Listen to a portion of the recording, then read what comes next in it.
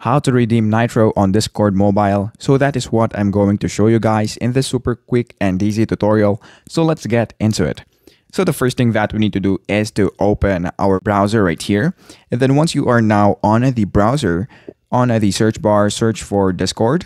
So just open your Discord through your browser since on the mobile version of the Discord, you won't be able to find the feature wherein you can redeem the code that you want to redeem. So just open right here. So click open Discord and then you should be redirected in this part.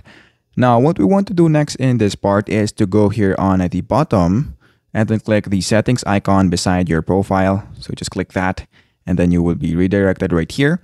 Now, what we want to do next is to look for gift inventory, which is right here. So just click gift inventory. And then once you do that, as you can see, we now have this redeem codes. So all you have to do is to type the code that you want to redeem. And let's say, for example, this is the code. And then once you do that, just click the redeem button right here. And then you should now be able to redeem it. So that is basically it. That is how to redeem Nitro on Discord Mobile.